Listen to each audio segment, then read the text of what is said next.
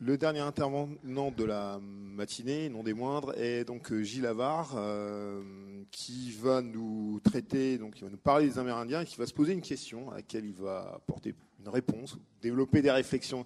Les bonnes questions sont celles auxquelles il n'y a pas de réponse. Donc développer une réflexion autour de la, question de savoir si les Amérindiens sont-ils bons, capables à penser l'État.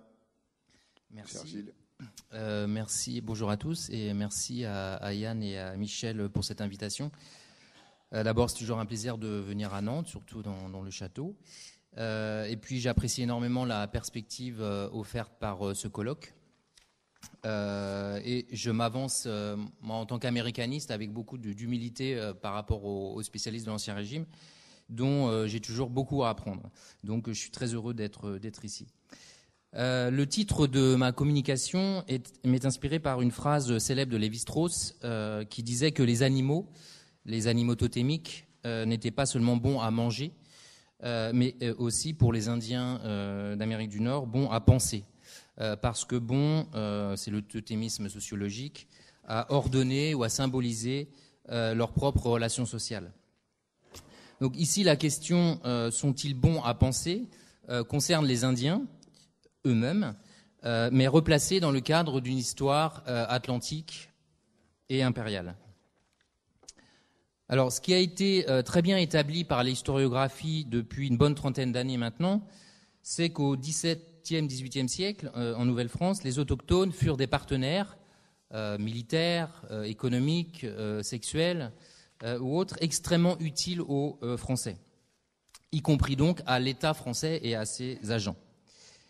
Mais on peut se demander aussi, euh, et c'est une toute autre question, euh, s'ils contribuèrent, cette fois indirectement, ou plutôt à leur insu, à l'évolution de l'État monarchique, non pas tant comme modèle à suivre ou comme contre-modèle, mais comme matière empirique à partir de laquelle bricoler ou repenser des usages. Cet État, à travers sa nébuleuse d'agents, euh, disserte euh, en effet abondamment sur les Amérindiens, euh, réfléchit à leur mode de vie, les inventorie, les classes, les catégorise.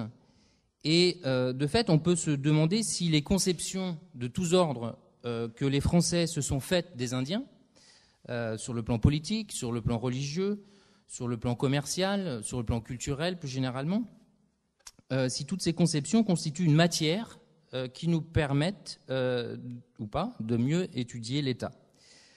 Soit parce que cet observatoire euh, amérindien, permet de mieux répondre à des questions que l'historiographie de l'État ou l'historiographie impériale se pose déjà, soit parce que la prise en compte de cet observatoire amérindien nous pousse à poser de nouvelles questions. Alors, parmi les questions déjà existantes ou que cette matière amérindienne euh, aide peut-être à poser, il y a par exemple une série de questions comme euh, est-ce que les Français avaient un empire au XVIIe, XVIIIe siècle? Ou la Nouvelle-France était surtout conçue par le roi comme une province ou comme une colonie? Ou la Nouvelle-France était surtout le lieu d'une forte créolisation des identités ou plutôt le lieu de construction d'une nouvelle francité? Quelle est la part du discours euh, sur les Amérindiens dans l'invention des catégories raciales à l'époque moderne? Et puis, la Nouvelle-France est-elle le lieu d'invention de nouvelles formes d'autorité, notamment dans la gestion de la différence? Ou est-on en présence d'un simple recyclage de vieilles recettes?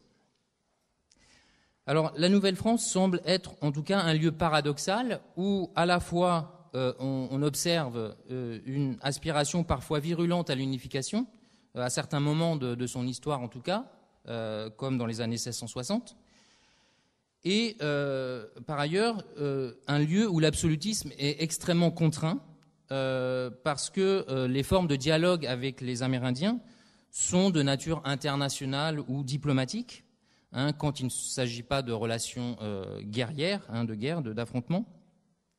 C'est-à-dire que le roi, euh, à la limite, peut tenter d'y agir en roi suzerain, euh, mais beaucoup plus difficilement comme un roi magistrat.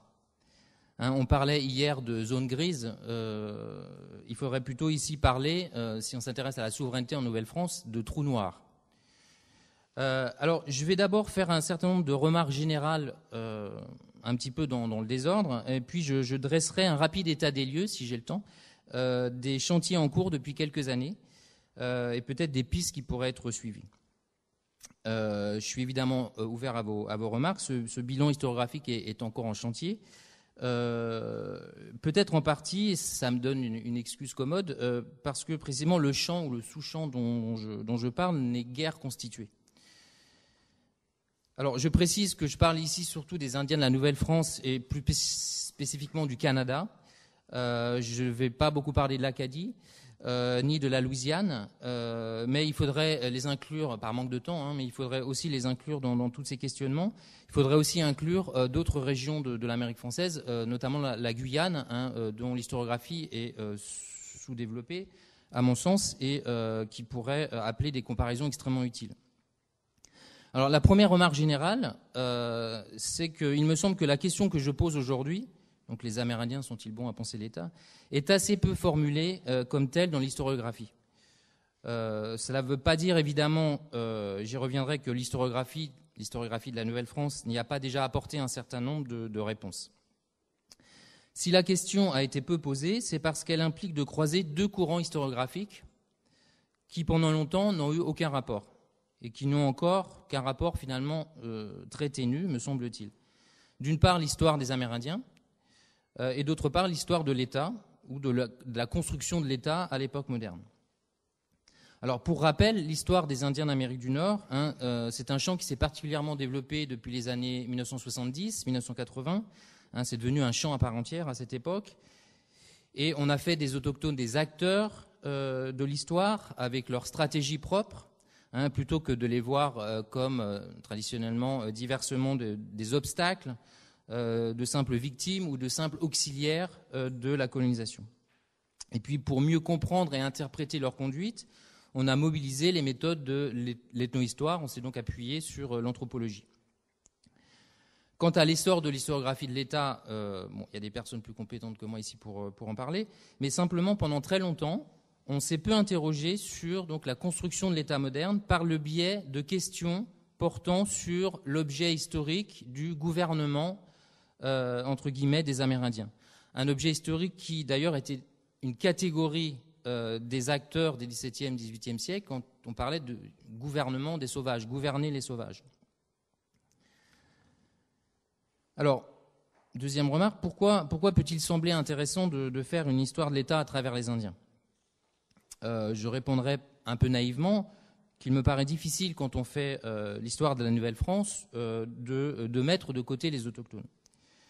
Euh, si l'on s'interroge dans le cas d'une histoire atlantique euh, sur ce qui distingue le milieu colonial euh, du royaume ou de la métropole, dans le, dans le, cas du Canada, pour ce qui relève des pratiques de l'État, il y a un certain nombre de choses qu'on peut mentionner. Bien sûr, la distance, hein, le gouvernement à distance, les problèmes de la distance-temps, dont ça a été évoqué tout à l'heure, a fortiori pour un commandant hein, qui se trouverait à Michilimackinac, hein, au détroit des lacs et supérieurs, euh, donc au, cœur de ce qu'on appelait les pays d'en haut à, l'époque. Hein. Vous imaginez le, temps euh, pour que les lettres euh, et les instructions circulent de Versailles jusqu'au Grand Lac. Il y a aussi donc pour le milieu colonial des spécificités d'ordre juridique hein, qui se consolident surtout à, partir de, la fin du XVIIe siècle, hein, avec le système de l'exclusif, par exemple, avec aussi l'esclavage, euh, puisque la notion de sol libre euh, l'interdit théoriquement, en tout cas en métropole. Mais ce qui distingue le plus, donc je reviens à mon sujet, me semble-t-il, la Nouvelle-France euh, de toutes les provinces du royaume, si tant est que la Nouvelle-France appartienne pleinement au royaume, c'est la présence des peuples amérindiens. Et pas seulement dans les pays d'en haut, hein, où circulent des coureurs de bois, des missionnaires, des, des soldats des troupes de la marine aussi, euh, mais également au cœur de la société coloniale dans la vallée du Saint-Laurent. Hein. Euh, Jan Grabowski, par exemple, a montré euh, dans des travaux dans les années 90 sa thèse sur Montréal et des, articles sur Trois-Rivières hein, qu'il y avait des interactions très étroites entre les colons d'une part et les autochtones d'autre part. du, point de vue royal, il y a là, avec la présence des Amérindiens, donc une sorte de coefficient d'altérité, évidemment beaucoup plus fort qu'avec des Bretons ou des Provençaux. Hein, même si le discours sur, euh, sur, la sauvagerie, sur la plume des élites, euh, existe de part et d'autre de l'Atlantique. Du coup, si la monarchie euh, doit déployer ses institutions, elle ne le fait pas sur un terrain neuf.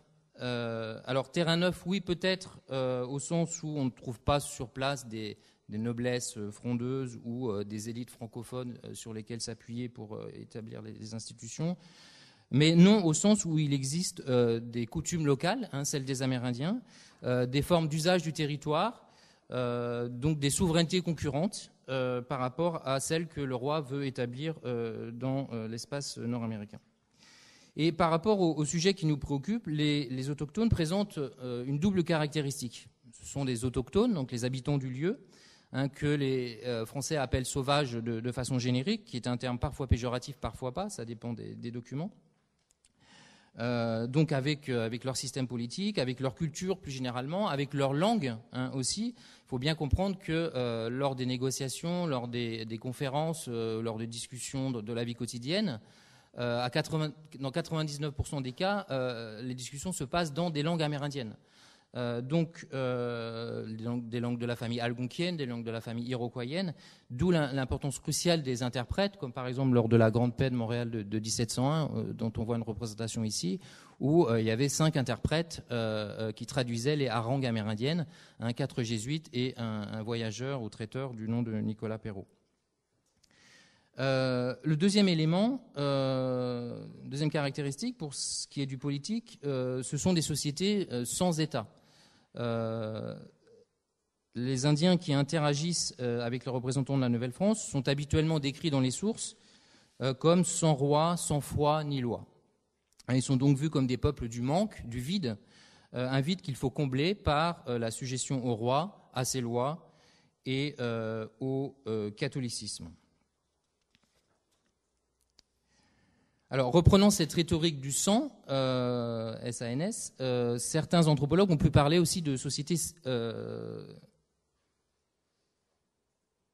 euh, excusez-moi, et, je pense ici à Pierre Clastre, de sociétés contre l'État. Hein. Pierre, Clastre, qui a construit le paradigme de la, de la chefferie sans pouvoir, hein, explique que ces sociétés empêchent l'émergence de chefs qui, joueraient au chef, au fond, euh, et, conjurerait euh, le risque d'une dérive vers ce qu'il appelle le pouvoir, hein, conçu ici comme intrinsèquement coercitif, hein, donc vers l'État.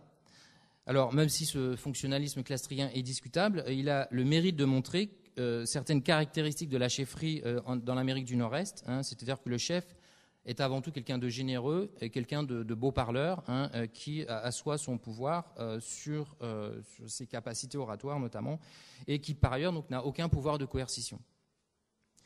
Troisième remarque, un, mot sur, les sources. De, façon générale, l'existence de, de, ce qu'on appelait la Nouvelle-France reposait sur des alliances amérindiennes très étendues hein, qui expliquent la production de nombreuses sources.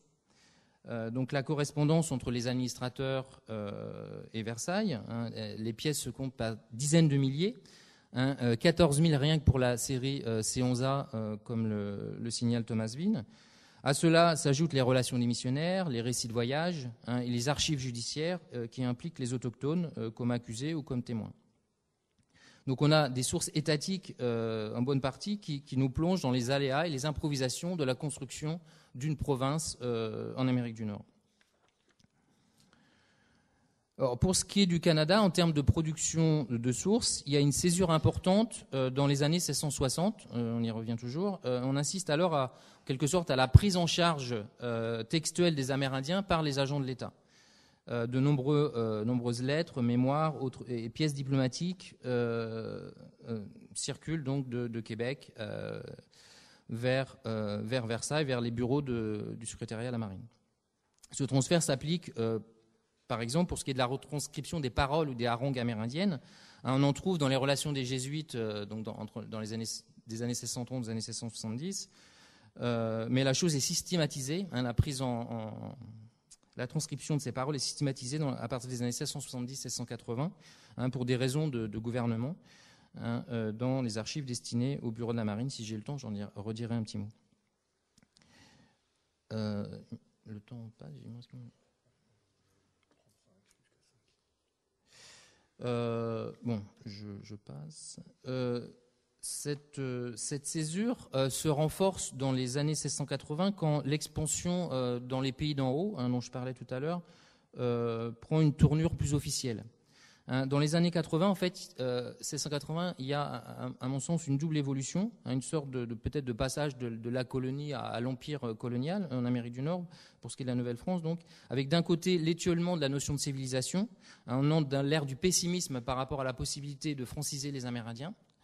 Euh, et ça prépare le passage à, la racialisation de l'identité euh, amérindienne qui s'effectue au cours du XVIIIe siècle.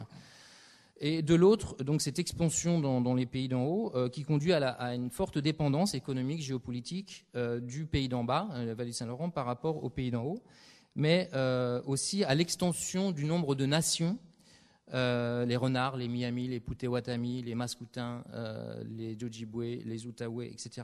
Ces nations amérindiennes qui vont peupler l'imaginaire impérial. Hein, il y a une expression qui apparaît sous la plume du gouverneur de Nonville en 1685, hein, qui a été relevée par euh, Michael Wigan dans son livre qui s'appelle Infinity of Nations et par Alexandre Dubé euh, dans, un article de, 2013. De Noville parle d'une infinité de nations que l'on découvre tous les jours. Hein, des nations donc il faut identifier, classer et qui sont à ce titre destinées à euh, faire partie de l'Empire français. À cet égard, une, dernière remarque générale. Euh, il existe deux façons de, peut-être j'aurais dû le dire plus tôt, mais il existe deux façons de s'intéresser euh, aux, Indiens d'Amérique. Hein. La première façon, euh, c'est de les étudier d'un point de vue ethno-historique, anthropologique, hein, c'est-à-dire s'intéresser à leur culture et en retour à ce que ces cultures peuvent nous apprendre sur l'humain. c'est le vieux projet de Lévi-Strauss hein, que l'on peut colorer d'un intérêt pour l'histoire, par exemple en restituant les temporalités de la colonisation. Puis la deuxième façon de s'intéresser aux Amérindiens, c'est d'étudier les représentations qui sont construites en Occident à leur propos. Hein, donc tous les processus de fabrication de, l'indianité. La formulation la plus connue, la plus radicale de, ce processus de fabrication de l'indianité, c'est bien sûr la figure du bon sauvage. Je vais y revenir. Hein. donc on est là dans le domaine de l'histoire des idées européennes et non pas de l'histoire des Indiens à proprement parler. Hein, mais en réalité, ces deux approches euh, me semblent indissociables. Hein, euh, l'une ne va pas sans l'autre. Euh, en effet, le projet de connaissance des, Indiens d'Amérique repose en bonne partie sur ces sources écrites européennes, hein, sources qu'il faut décrypter. Et en même temps, une anthropologie historique de l'État colonial doit aussi passer par un intérêt pour les perceptions autochtones. pourquoi? Parce que les acteurs de l'époque eux-mêmes en tenaient compte quand ils interagissaient avec eux. Hein. on doit donc essayer de le faire aussi, quitte à dire que ces acteurs de l'époque se trompaient parfois dans, leur façon euh, d'interpréter les euh, conduites amérindiennes. Alors si je me lance avec le peu de minutes qui me restent dans, un rapide survol de l'historiographie, euh, j'aimerais commencer par dire, avant d'en venir aux approches les plus récentes, qu'il y a euh, des travaux depuis un certain nombre d'années, depuis plusieurs décennies, hein, qui, de façon incidente ou de biais, hein, mêlent donc euh, histoire de l'État et histoire des Indiens. Donc le principal chantier, euh, premier point, surtout celui des littéraires, hein, j'en parlais tout de suite, c'est l'étude du bon sauvage, qui a pu servir d'instrument de, critique de, l'absolutisme, de Gilbert Chinard dès 1913 à Réal Ouellet, spécialiste de, de la Hontan, euh, qui, a, euh, qui parle dans ses dialogues avec un sauvage, donc d'un huron imaginaire, Adario, qui est d'ailleurs inspiré d'un huron de chair et d'os qui a participé à la Grande Paix de Montréal et qui s'appelait Condiaronc. Euh, en passant par les travaux de, Michel Duchet, hein, la, littérature sur ce point est extrêmement abondante.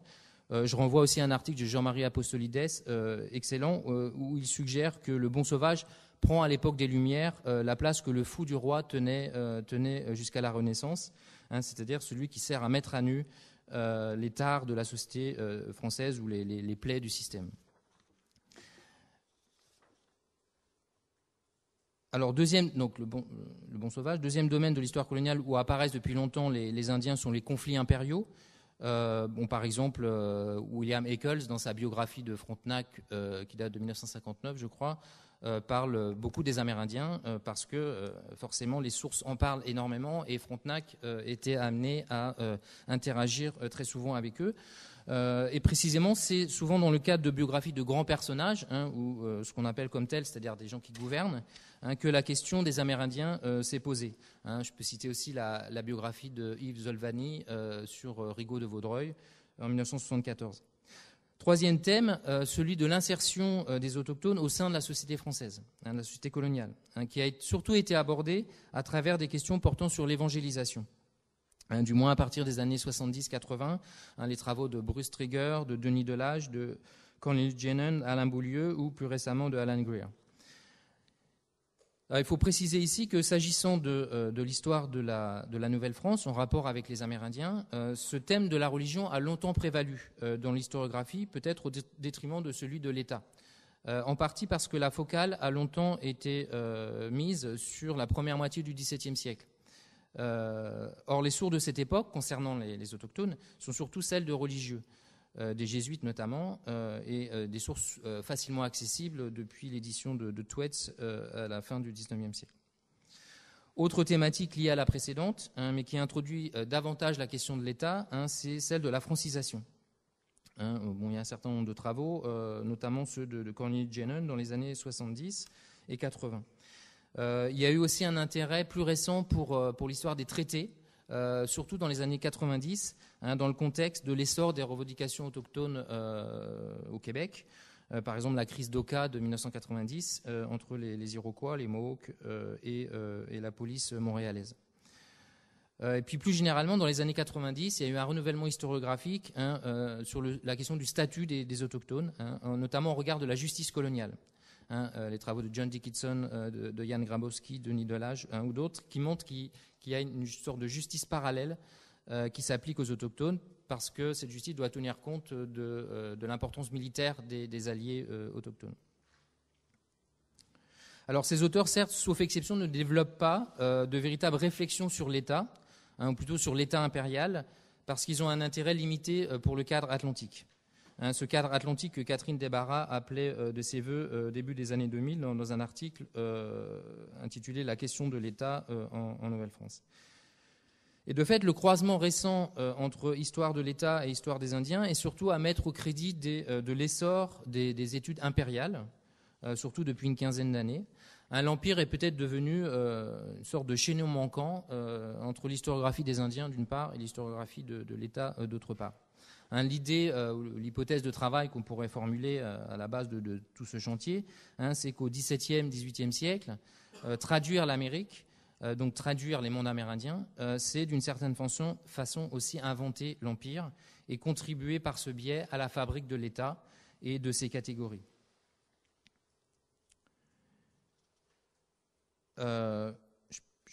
Prends un exemple rapide euh, de, des interférences atlantiques euh, en, revenant euh, aux années 1660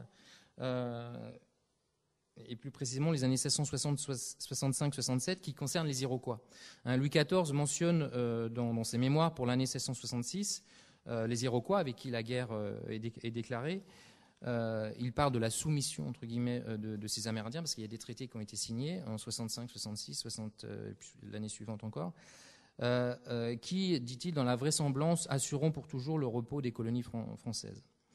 Euh, or, le roi évoque cet épisode au milieu d'autres glorieuses, soi-disant glorieuses opérations politico-militaires, dont la mise au pas des barbaresques en Méditerranée, dans un contexte idéologique marqué par le messianisme royal et l'esprit de croisade contre le turc.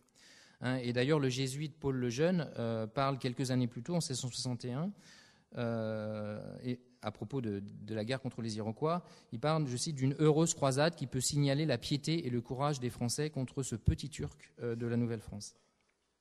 Et au rayon diplomatie, cette fois, en 1667, Louis XIV fait imprimer les trois traités euh, avec les Iroquois qui ont été signés en 65 et 66. Euh, Or, fait remarquable, le roi y est désigné comme l'empereur de France, hein, paix accordée par l'empereur de France aux Iroquois. Euh, pour rappel, Louis XIV est le dernier Bourbon à, euh, avoir nourri des prétentions à la couronne euh, du Saint-Empire. Et de fait, cette titulature euh, témoigne de l'insertion de l'espace colonial américain dans les problématiques impériales de l'Ancien Monde, plus peut-être qu'elle ne crée de vision impériale proprement coloniale. Il n'y a pas alors d'adéquation véritable entre le rêve impérial de Louis XIV en Europe et la réalité d'un empire colonial en construction par-delà les mers. Reste qu'à travers les relations qui sont nouées avec d'autres peuples du monde, qui sont pensées euh, comme inégales, à travers par exemple la notion de protection, euh, Louis XIV dispose d'arguments supplémentaires pour hisser euh, sa maison royale au-dessus du Saint-Empire et de tous les autres royaumes de la terre. Hein, Louis XIV est roi dans son royaume et à l'extérieur de celui-ci, il peut se targuer du titre d'empereur, hein, autrement dit de roi des rois. En somme, les traités exotiques Hein, un peu curieux, dit un ministre de, Louis XIV, qui sont signés aux confins de la terre, hein, servent à alimenter la, propagande en faveur du roi impérial. Euh, alors, il y a deux, euh, si je reviens un peu à l'historiographie, il y a deux métaphores qui ont été récemment mobilisées par les historiens pour penser les ajustements de l'État euh, dans l'outre-mer. il y a la notion de laboratoire, euh, ou de terrain d'expérimentation hein, des usages et des pratiques de l'État. Et il y a aussi euh, la notion de bricolage, on en a parlé avec Catherine euh, tout à l'heure, donc je, n'y reviens pas.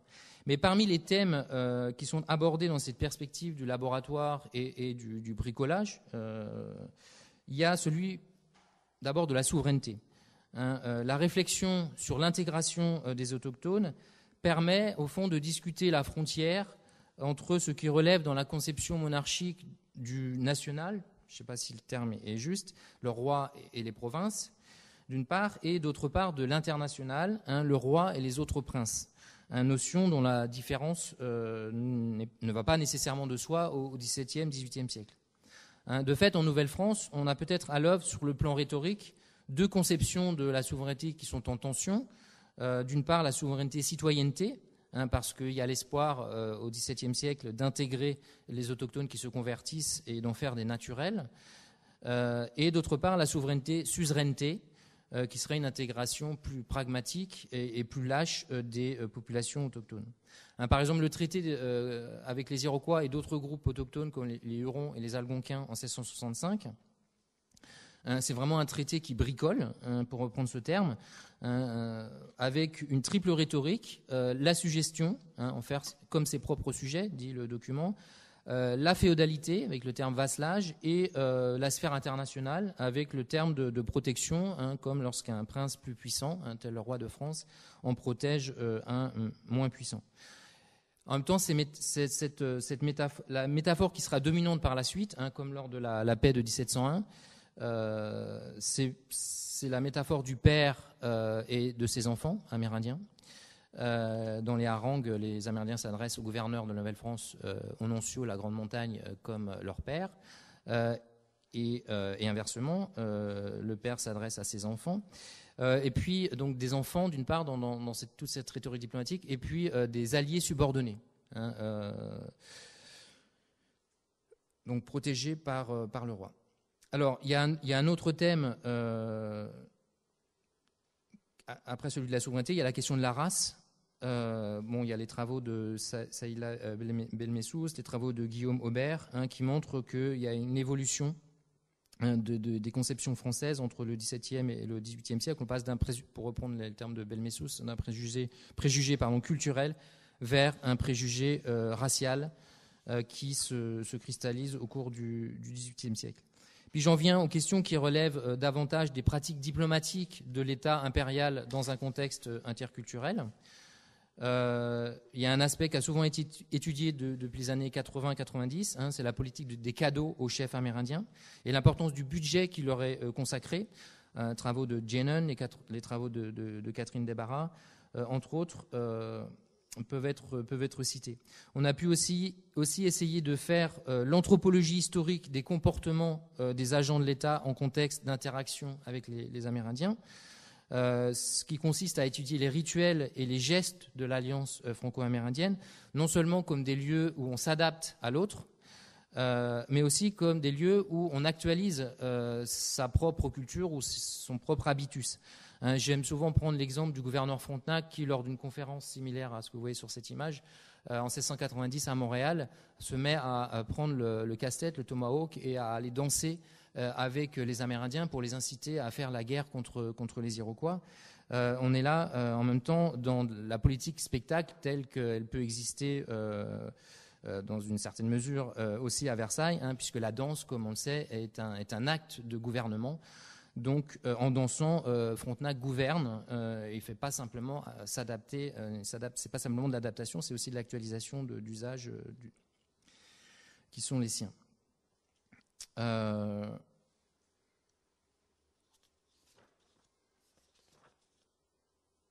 Et puis, il faudrait aussi évoquer les travaux sur la guerre, les travaux sur l'esclavage.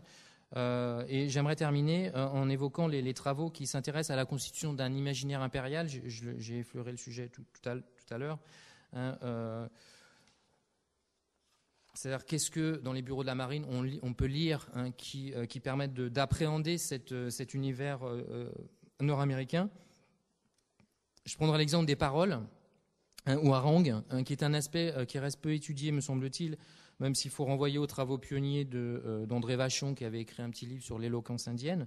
Hein, le terme parole, utilisé par les, Français, est sans doute bien adapté, hein, puisque si on généralise, euh, on pourrait dire que les Amérindiens, s'ils ne sont pas, en tout cas pour ce qui est des hommes, euh, des gens volubiles, parce qu'il y a, Lévi-Strauss en parle, une forme de rétention orale donc chez eux, dont, parlent donc certains ethnologues, hein, ils déploient bien une culture de la parole. Hein, euh, et celui qui parle bien et celui qui a du pouvoir, comme, comme je disais tout à l'heure. Euh, ça reste un terrain d'enquête qu'il faudrait mener euh, dans une perspective chronologique, hein, comparer les discours tels qu'ils sont retranscrits par les jésuites, par exemple, puis ensuite par les, agents de l'État un petit peu plus tard, dans une perspective aussi comparative, hein, Canada, Acadie, Louisiane, et le tout replacé dans un contexte atlantique. je pensais à ce qui a été dit hier sur les harangues. Un euh, discours tissé de lieux communs avec euh, reconnaissance de l'autorité du roi, euh, on pourrait dire que les, discours de, la Grande Paix de 1701, tels qu'ils sont retranscrits par les scribes, semble-t-il, résument beaucoup les, propos des Amérindiens et il y a une forme de standardisation du propos où, tous les autochtones disent nous sommes attachés à notre père, nous nous réjouissons, je me réjouis, dit un chef, de mettre cet amas de haches dans la terre, etc. Donc euh, il faut faire la part de ce qui a été effectivement dit et ce qui est peut-être reconstruit en partie euh, par euh, la culture rhétorique des, agents de l'État. C'est une question difficile parce qu'il y a aussi des, scripts qui disent que tout est retranscrit mot à mot, hein, notamment dans les sources louisianaises. Il y a aussi la, question. Moi, je vais m'arrêter. Euh... pas être brutal. C'est juste une suggestion, une invitation. Mais je, j'obéis. Euh, juste euh, quelques, mots de conclusion euh, en, trois points. les Indiens attestent bien, à mon sens, de, l'existence d'un empire en formation, puisqu'on invente des, formes de souveraineté, on bricole des formes de souveraineté différenciées, feuilletées, hein, qui ne reposent pas nécessairement sur une volonté absolue d'assujettissement. cette diplomatie du lointain constitue aussi pour le roi une forme particulière de gouvernement des peuples, Hein, qui banalise euh, le principe de la diversité linguistique, culturelle et juridique qui est constitutive euh, du royaume. Hein, la confrontation avec les sauvages, hein, c'est une sorte de test euh, transatlantique de la souplesse monarchique à l'égard des, particularismes locaux. Et en même temps, il y a une logique de conquête qui crée des tensions, qui crée des frictions, soit parce qu'on veut établir la souveraineté par rapport à d'autres puissances coloniales, euh, soit parce qu'il y a l'espoir euh, euh, qui reste de, soumettre et puis à certains moments de, franciser les, Amérindiens. Et je crois que tous ces questionnements pourraient être approfondis, d'abord en comparant plus systématiquement avec ce qui existe dans le royaume, en comparant plus systématiquement, je l'ai déjà dit, toutes les régions de l'Amérique française, Guyane incluse. et ultimement, il faudra aussi comparer avec d'autres régions de l'Empire colonial français, dans d'autres régions du monde, les comptoirs en Afrique ou en Inde. Hein, pour euh, vraiment voir comment fonctionne euh, cet État impérial. Voilà, je vous remercie.